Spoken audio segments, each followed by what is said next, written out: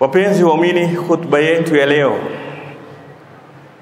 kama kichwa chake kinavyosema kwamba uaminifu, amana, uaminifu ni moja katika sababu au ni funguo katika funguo za riziki. Katika jambo linalosumbua sana leo ulimwenguni ni masala ya riziki, kiasi wanadamu kwa kuielewa vibaya riski, wameona riski ndiyo tatizo kubwa katika maisha yao. Kumbe riski haihusiani na tatizo la mwanadamu, kwa sababu riski iko mkononi kwa Allah. Allahu tabarak wa taala ameahidi, wama min dabbatin fil ardi illa ala Allahi rizquha, hakuna kinachotembea katika ardhi hii isipokuwa Allah tabaraka wa taala mwenyewe kajilazimisha kukiruzuku kitu hicho kinachotembea, sawaun insanun au hayawanun, awe ni mwanadamu awe ni mnyama, chochote kile, madamu ni kitu chenye roho dhatu kabid, kinachostahiki kula, basi riski yake ipo, Allah kaikadiria.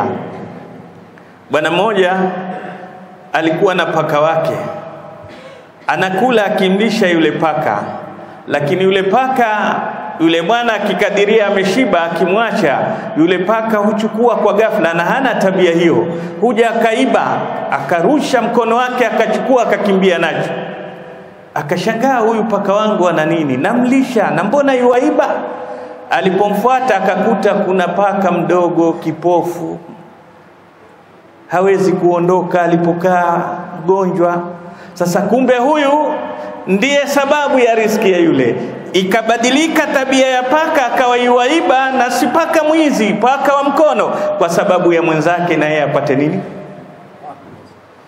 Jamani, riski si jambo la kuwa likufanye wewe pengine utoke kwenye mpaka wa Allah tabaraka wa taala, lakini riski ni njia moja rahisi ya maisha ni kumridhisha Allahu tabarak wa taala.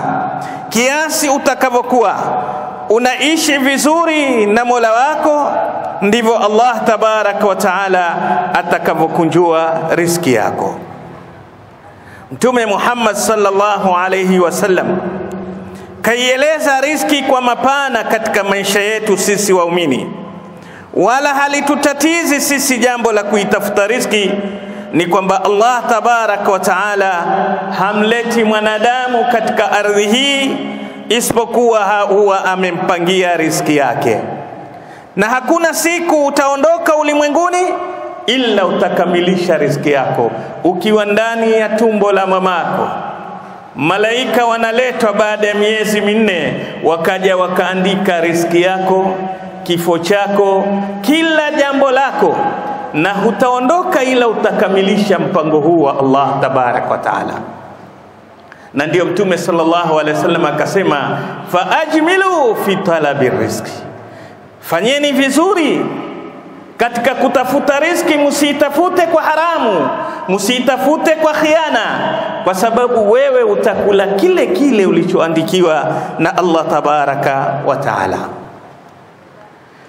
Bwana mmoja alikuwa akiuza maziwa maziwa yake mazuri yanasifika, kenda nao sokoni hayachukui muda, lakini akasema kwa kili, lita hizi napata pesa hii, na watu wanavyopenda maziwa yangu, wacha leo niongeze maji ili pesa itaongezeka, kwa sababu watu, jina langu ndio linalouza maziwa, hawatoangalia. Na kweli jina lake liliuza kwamba yeye ana maziwa mazuri, watu walinunua lakini yalikuwa ni mara mbili ya siku zile zote anazouza, kwa sababu nusu kwa nusu maji. Alipomaliza pesa zimekuwa nyingi, akachelewa kutoka sokoni, jua kali, akaanza kurudi nyumbani, amechoka. Akaona kuna mto na kuna mti mzuri, akaenda kupumzika kwa sababu amechoka, ameingia madukani, amefanya shopping, amepata hela mzuri leo. Alipopumzika na mfuko wake ule wa pesa basi kule juu kuna matumbiri wakashuka, wale tumbiri wakaja wakaubeba ule mfuko. yeye akishtuka, akifungua sikia kelele za tumbiri, wanang'ang'ania ule mfuko wakauchanachana. Sasa zile hela zile noti zikawa nyingine za mwangukia yeye, nyingine zaanguka majini mtoni. Alipozihesabu ni zile zile anazopata kila siku kwa maziwa ya halali, zile za ziada zote zimechukuliwa na maji. Ni msemo wa Kiarabu asema malul laban lillaban wa malul maa lilma, mpaka kesho msemo huu watumika. Mali ya maziwa ni ya maziwa imebaki, na ile ya maji imeenda mtoni. Waumini, si tatizo la riski. Riski kinachotakikana al-akhdhu bil asbab wa tawakkul ala man ala al-hayy alladhi la yamut, ni kufanya sababu, tusiwe wavivu, tujitume. Usichegue kazi ya kutafuta riski, jitume, lakini tegemeo lako la baraka ya riski yako ni nani?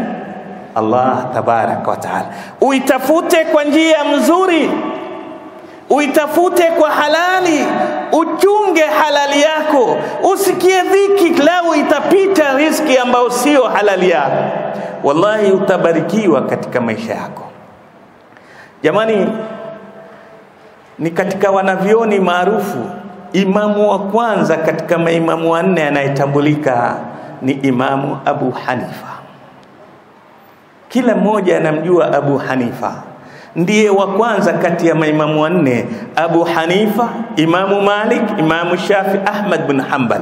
Abu Hanifa ambaye ni imamu rai, alikuwa na kichwa, wacha masala ya sheria kuyajua kwa dalili. Hata ukimzungumzia mambo ya kiakili, hapo hapo anakujibu kiakili.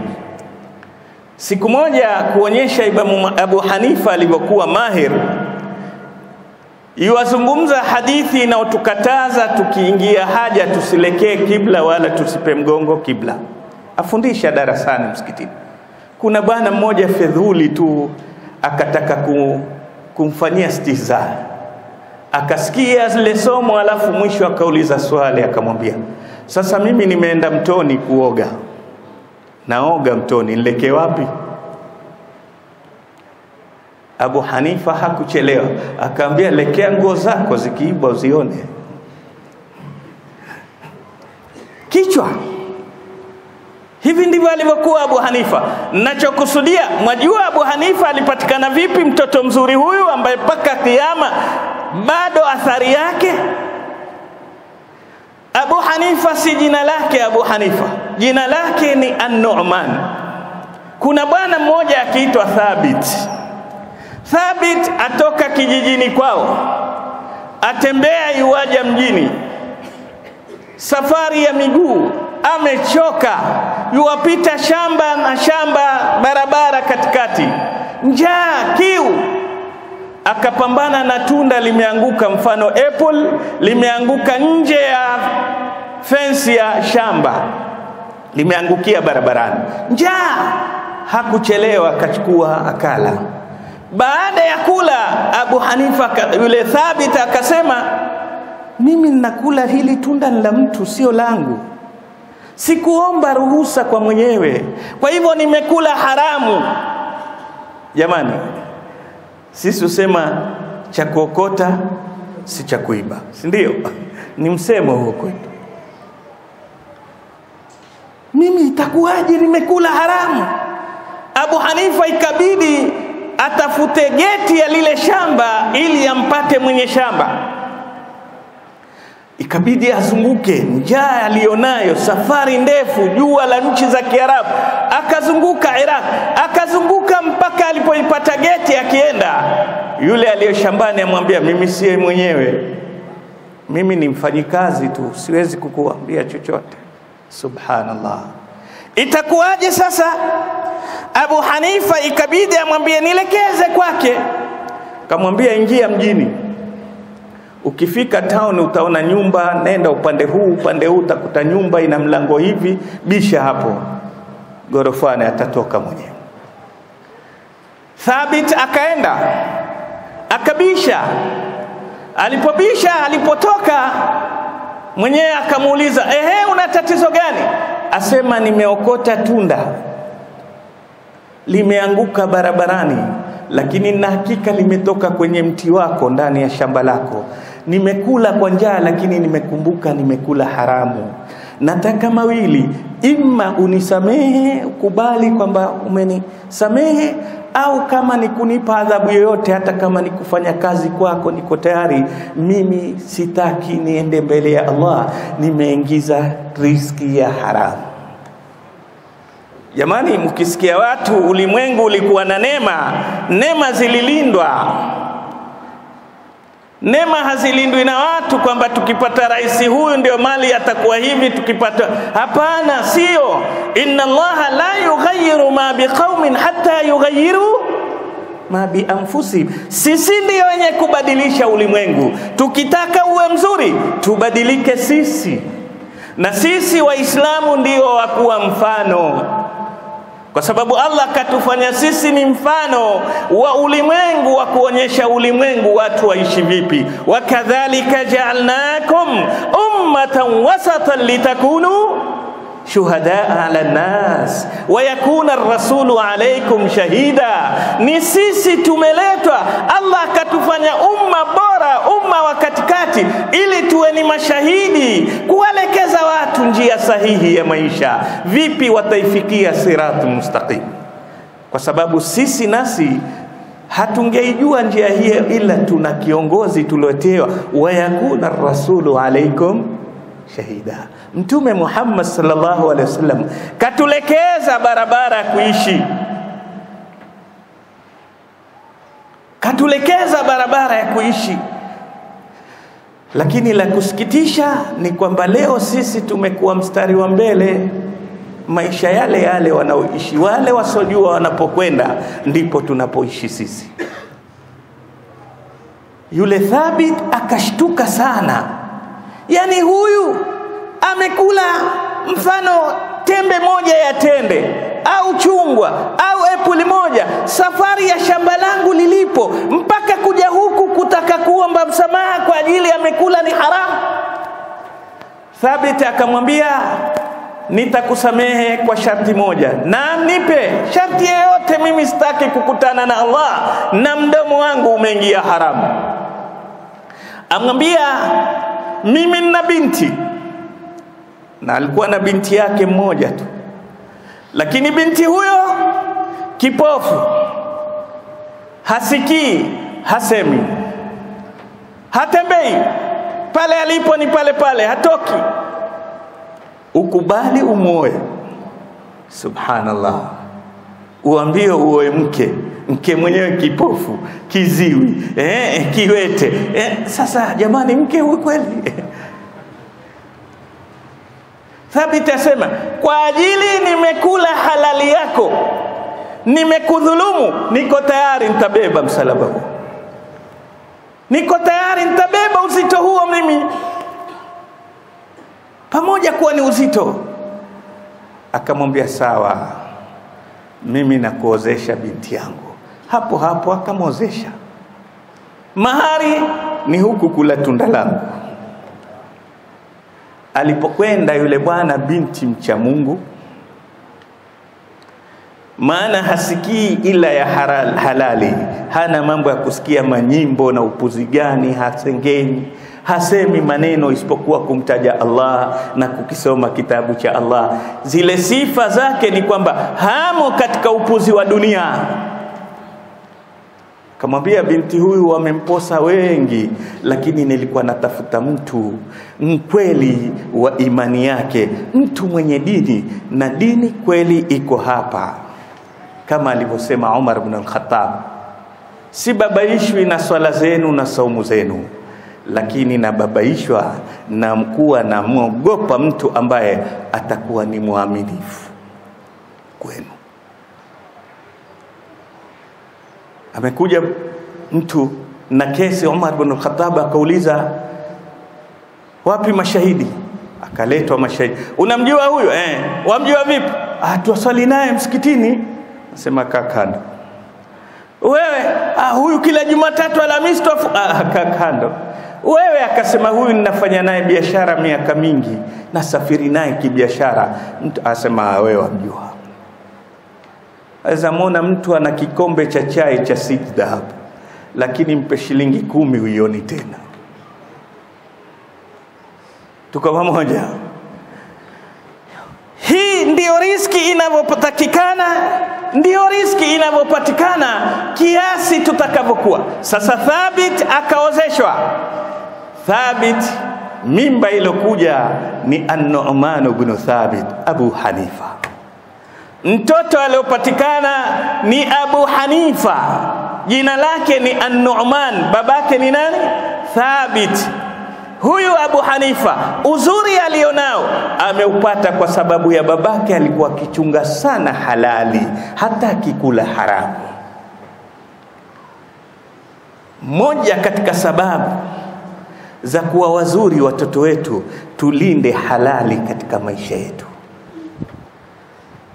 Dunia imechefuka kwa sababu kila mmoja hajali katika masala ya kupata hutaki kujua wala nini, waingiza nini, unaona ndio wafurahisha, kumbe unaangamiza familia yako. Unapata watoto mpaka mwenyewe asema afadhali ningeza embe kula kuliko kupata mtoto huyu, anakukera duniani, kumbe wewe ndio ulioleta kero lile, ulimahari yenyewe ya haramu. Kuna mtoto mwema atapatikana? Jamani, katika sifa ambayo Allahu tabaraka wa taala ameieleza ya ulimwengu huu kupatikana kwake ni kwamba huu ulimwengu wote umebebwa na sifa ya amana. Hii amana, jambo la uaminifu lililokuwa kubwa, ndio ulimwengu kujengwa, mbingu na ardhi imesimama juu ya amana. Allah tabaraka wa taala asema katika Qur'ani inna aradna al-amanata ala as-samawati wal-ardi wal-jibal, sisi baada ya kumuumba mwanadamu huyu tuliileta, tuliikabidhisha amana, tukaileta kwa mbingu na ardhi na majabali, fa abaina an yahmilnaha lakini walipojua jambo la amana la kubeba masulia na tunaposema amana haina maana ya kuhifadhi kitu cha mtu peke yake. Amana ni kuhifadhi kila ambalo ni wajibu kwako. Fasalatu amana, walwudhuu amana, walquranu amana, wa adai huquqi nnasi amana. Amana maana yake ni kila responsibility wajibu wako lazima utekeleze. Watu wengi ufikiri amana ni ile atapewa na mtu niekee. Naam, hii ni katika amana. Allah tabarak wa taala asema inna Allaha yaamurukum an tuaddu al-amanati ila ahliha, zile amana za watu muwafikishie wenyewe. Lakini kabla ya amana ya mtu wewe una amana zako. Allahu tabaraka wa taala kakupa neema mtoto, naam, alwalad neema, walakin tarbiyatuhu amana. Mtoto ni neema, lakini wewe kumlea mtoto vizuri ni nini? Ni amana, lazima ni masulia yako.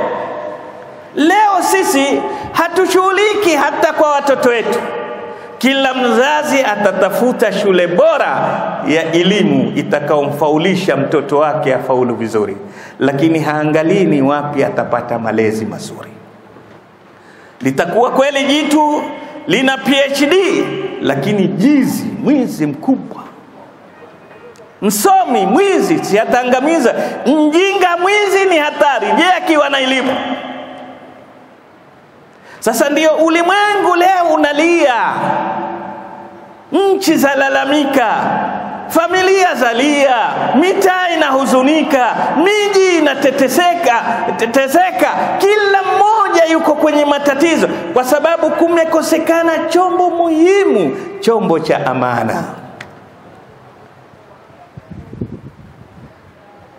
Kuonyesha amana ni kitu kikubwa ndio utakuta ni sifa ya kila mtume aliyokuja ulimwenguni, alikuwa na sifa ya uaminifu.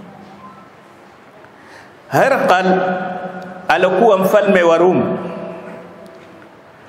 alipokwenda Abu Sufyan kwa biashara zake, huyu mfalme alimuuliza maswali, akamwambia, tumesikia amekuja mtu anadai utume huko, anaitwa Muhammad, hebu nieleze sifa zake.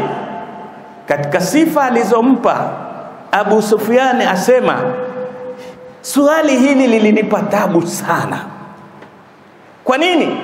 Kwa sababu Abu Sufyan ni mmoja katika maadui wa Mtume Muhammad sallallahu alaihi wasallam, lakini kwa tabia yao walolelewa, malezi yao, pamoja kuwa hawakuwa Waislamu, malezi ya ubinadamu mzuri, walilelewa tabia ya ukweli na uaminifu.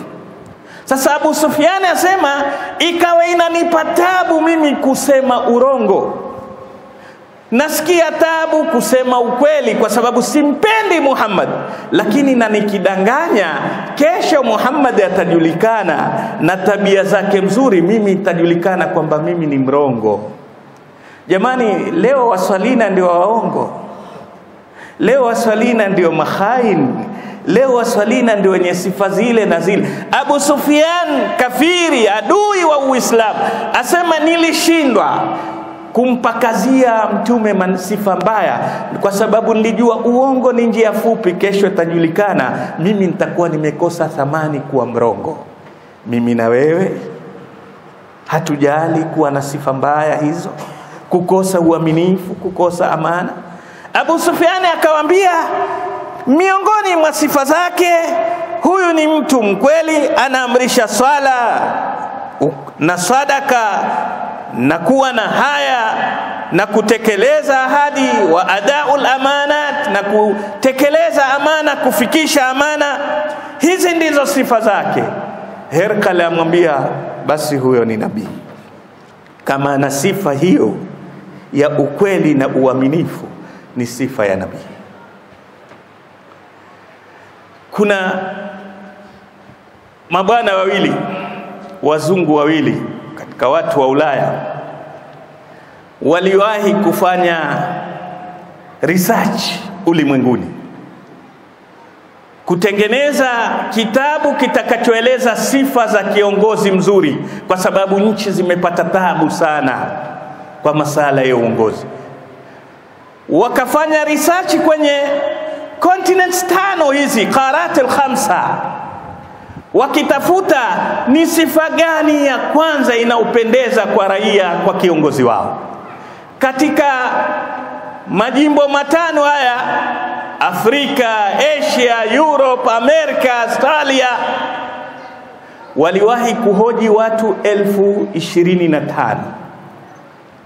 Katika watu ishirini na tano elfu watu elfu moja na mia tano walikuwa na kauli moja kwamba kiongozi best leader ni yule ambaye ana sifa hizi za kuwa asadiqul amin,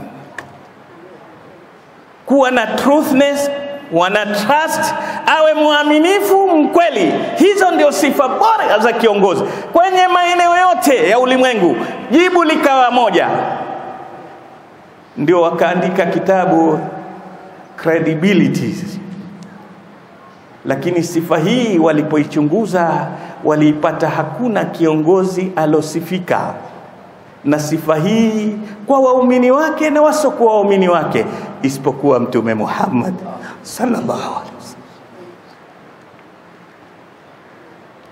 Rasulullah walimkubali Hirqal, Abu Sufyan wanamsifu kwamba ni mkweli mwaminifu. Makafiri lakini Maka ilipopata tatizo la ugomvi uliotokea wakati wa renovation, kuifanyia tarmim Alkaaba, wakati wa kuliregesha lile Hajarul Aswad mahali pake, ikawa kila kabila ajisikia mimi ndio nastahiki niliregeshe, nilibebe jiwe lile. Mwisho wale wenye hekima katika wazee wa Maka walisema Jamani, tulieni, tusigombane kipumbavu pumbavu. Sasa tuwekeni nia hapa, atakayeingia msikitini, mtu yoyote atakayeingia huyo, kwa kuwa hakusikia hii kesi yetu, tumfanye ndiye hakimu wa kutuambia nane abebe. hakuingia isipokuwa Mtume Muhammad sallallahu alaihi. Na alipoingia Mtume sallallahu alaihi wasallam, wote walikubaliana wakasema, radhina bil amin, tumeridhika kwa nani? Hakusema bi Muhammad, radina bil amin, tumeridhika na mwaminifu bora Mtume Muhammad sallallahu alaihi wasallam. Muumini, jitahidi ujenge uaminifu katika maisha yako, ndiyo tabia ya mtume wako. Laqad kana lakum fi rasulillahi uswatun hasana. Wapenzi waumini, Allahu tabaraka wa taala kalihimiza jambo hili kwa sababu uaminifu ndiyo sababu ya kukamilika imani yako, kwa sababu Rasulullah sallallahu alaihi wasallam asema la imana liman la amanata la, mtu ambaye hana uaminifu hana imani. Ndio Umar akasema sishtuliwi na sijida yako wala saumu yako, lakini uaminifu wako ndio unanifanya mimi nikutambue wewe ni nani.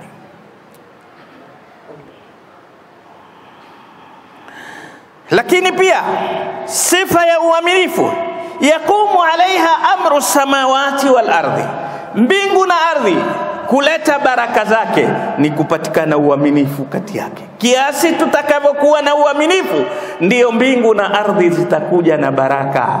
Kiasi uaminifu utapotea, basi haisaidii chochote tutakachokifanya. Uaminifu hiya mihwaru din wa mtihanu, mtihanu rabbil alamin. Uaminifu ndiyo nembo ya dini hii na ndiyo mtihani wa Allah kwa waumini wake, kama alivyosema, inna aradna al-amanati ala samawati wal ardi wal jibali faabaina an yahmilnaha wa ashfaqna minha wa hamalaha al-insan. Kwa hivyo wewe ndiye mwenye jukumu hili, na hii ndiyo picha yako ya ukweli wako, ni uaminifu wako. Jamani, ni wangapi watu waliokuwa na heshima wakitambulika mbele ya watu, lakini wamekosa pamoja bado na swala zao na elimu zao na Qur'ani yao, lakini kwa kuvunja uaminifu kidogo tu mtu amempiga teke. Bil amana yuhfadhu din, pakipatikana uaminifu ndiyo dini italindwa. Wal a'rad, na heshima za watu zitalindwa.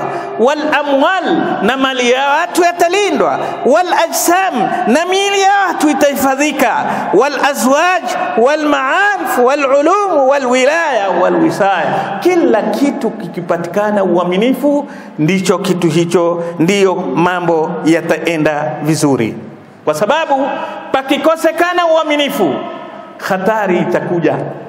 Mmoja nimeyapenda makala yake, ninasoma kama miaka mitano hivi, asema nchi kubomoka haihitaji ma, mabomu wala mitetemeko ya ardhi. Kuporomoka kwa mchi ni kukosekana uaminifu, kwa sababu kukikosekana uaminifu, basi kila kitu kitaenda vibaya, kila jambo litakwenda hali isivyo, kwa sababu hakuna uaminifu.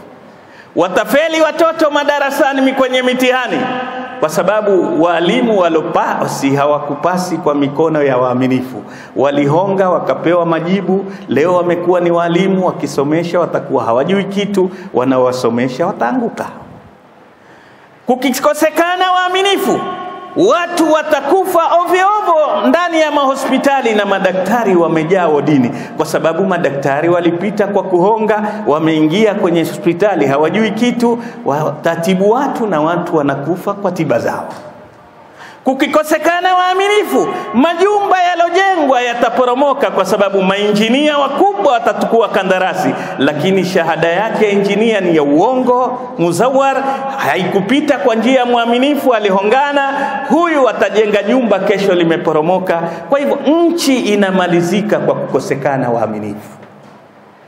Ndio Allah akalieka jambo la amana liwe muhimu sana katika maisha.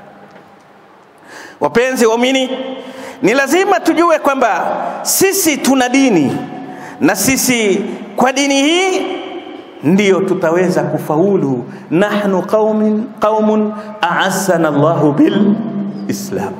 Kila mmoja wetu, lau kila Muislamu popote alipo ataleta picha ya uaminifu, wallahi kuna watu wataupenda Uislamu kupitia uaminifu. Jamani, nchi za Asia, Malaysia, Indonesia, hakukwenda kikosi cha jihad kukomboa kule, hakuna wala hawakwenda hata maduati kule, walienda wafanyi biashara. Wafanyi biashara wale wakawa waaminifu, wafanyi biashara wale wakawa na tabia njema. Leo katika nchi zisizokuwa Jaziratul Arab zenye Waislamu wengi ni nchi hizi za Indonesia na Malaysia, ziliingia katika dini kwa wafanyabiashara wachache kutoka Yemen, waliweza kuileta dini kwa watu kuwapenda kwa tabia zao na uaminifu wao.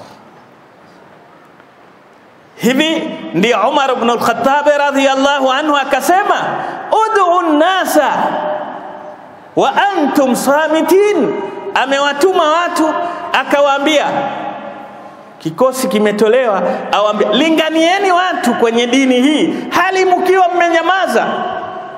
Wakamuuliza, ya amira almu'minin, kaifa nad'uhum wa nahnu samitun, tutawalingania vipi na hali tumefunga mdomo? Akasema, bi akhlaqikum wa bi muamalatikum, tabia zenu na miamala yenu itawaattract watu kuliko maneno yasiyo na vitendo haya wapendezi watu. Jamani, wanadamu macho yao yana nguvu kuliko masikio yao. Kwa hivyo anachokiona kwako kina mvuto kuliko kile anachokisikia. Hivi ndivyo tunavyotakikana tuweni katika maisha yetu. Sifa Allah tabarak wa taala aliwasifu watakaoingia watakaorithi jannatul firdaus aliposema qad aflaha almu'minun, miongoni waliosifiwa alisema walladhina hum liamanatihim wa ahdihim rahun Wewe una amana ya Allah, ibada za Allah jiulize, wazitekeleza? Una amana ya familia, jiulize, unaishi vizuri na familia yako, unaitekelezea haki zake? Una amana ya kazi, je, kazi yako unaifanya vizuri? Kila katika maisha yako kuna amana juu yako, ni lazima tuhakikishe tunafanya nini katika kuitendea haki amana zetu. Wapenzi waumini, kiasi tutakavyokuwa wazuri waaminifu kwenye imani zetu, ndio tutakuwa sisi ni wenye kufaulu. Allahu tabarak wa taala sema, ya ayuha alladhina amanu la tahunu llaha warasula wala takhunu amanatikum wa antum taalamun,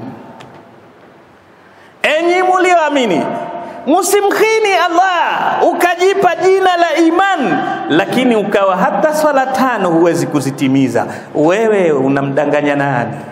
Usimkhini Allah, usimkhini Mtume Muhammad sallallahu alaihi wasallam. Nampenda Rasulullah, lakini ukiambiwa hii ni sunna waipiga vita.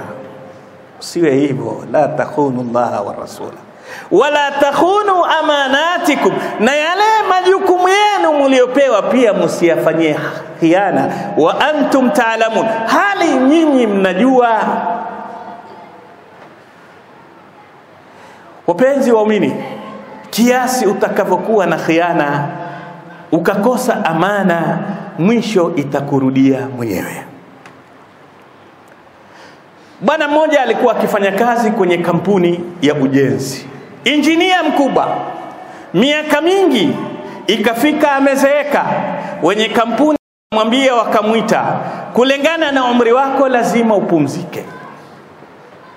Sasa twakupa nyumba ya mwisho hii, twataka uijenge vizuri, kwa sababu khitamuhu misk uitoe vizuri, tutakupa hela utakayosema, ili hii nyumba iwe ni ya mfano, iwe ni unique hapa katika nyumba ulizozijenga.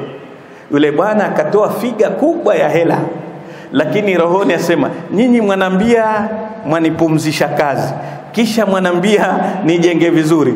Hii ndio nitaijenga vibaya kweli, hela zote nifanye nini? E, vijana asema nitaramba eh? taziramba hizo kweli alilijenga jumba bovu bovu, anua vifaa ghafi, vifaa duni, ili apate ku, kukusanya ile pesa. Siku alipomaliza akawaendea, akamwambia nimemaliza nyumba. Wakamwambia basi, tutaweka sherehe ya kufungua nyumba, tuchanganye iwe na ni sherehe ya kukuaga wewe. Wakatangaza, wafanyikazi wote wakafika kwenye sherehe ile. Alipotoa funguo, akaambiwa hii funguo ni yako, hii nyumba zawadi ya kukaa na sisi kufanya kazi siku nyingi kwetu, tumekupatia hili gofu lako, chukua mwenyewe. Tuko pamoja jamani? man amila salihan falinafsihi wa man asaa faaleha aqulu ma tasmaun wa astaghfiru llaha li wa lakum wa lisairi lmuslimin fastaghfiruhu innahu huwa lghafuru rrahim wa huwa albarru lkarim.